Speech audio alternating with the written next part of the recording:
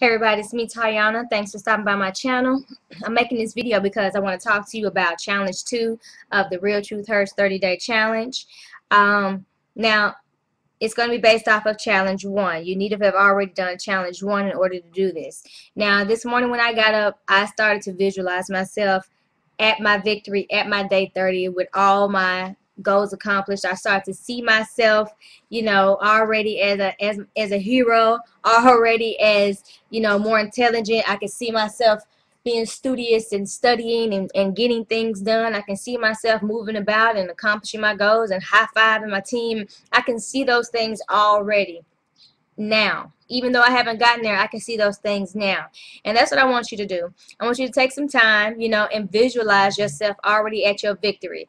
Don't wait until you get there. You look at your goals and look at each one of those. If your goal is quit smoking, I want to see you, you need to see yourself already walking through a cloud of smokers and not being phased or just not caring about it, just walking through like, oh, they're smoking, so what? If that's one of your goals, then you need to see yourself already victorious. You need to see yourself able to break those and crumble those cigarettes up and throw them away. If you have a goal that you want to be able to be more close to yourself, have a more deeper connection with yourself, then you need to see yourself you need to find someone or see something that's already where you want to be and visualize yourself in that same position already happy, already calm, already already there. You need to see yourself already at your victory.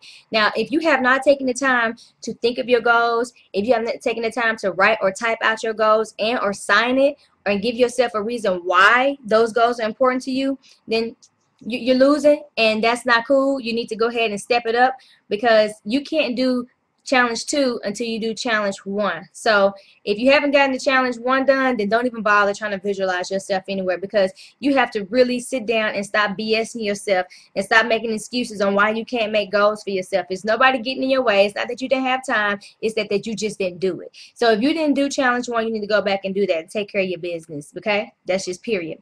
Now, also, I just want to let you guys know that um, the challenge started on the first and we're I'm letting accepting people I guess you could say uh, until the fifth. So you need to follow the link in the description box so you can go and read the details for yourself.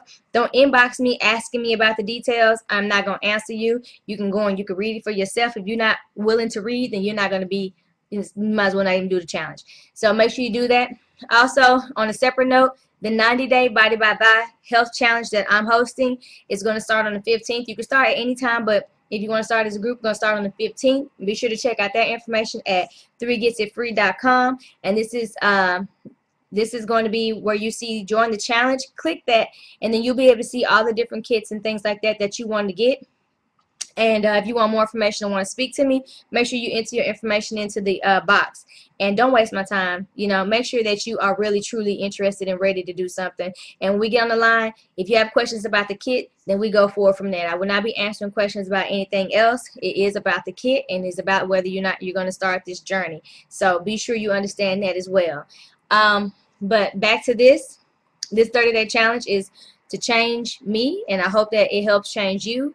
If you have any questions during the challenge, you know if you're in the group, just post it into the group and we'll go from there. If you're not in the group yet, then you need to go ahead and go back to the event tab, click attending, and then accept the friend uh, request or the acquaintance request that I send you, okay? All right, so that is it. Y'all take care. Have a good day, and I hope the best for you guys, no matter what you decide to do. See yourself at your victory. That's the only way, all right? I'll see you later. Peace.